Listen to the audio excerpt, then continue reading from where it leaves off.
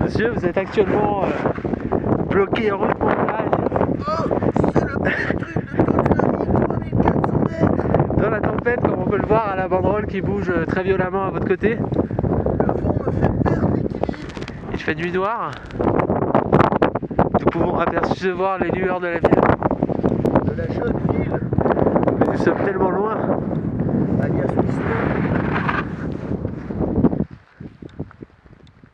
mais là, faut que tu dises quelque chose, là. Putain, dire quelque chose, quoi. Vous attendez un ordre euh, de l'état-major? Quatre chiens au passage.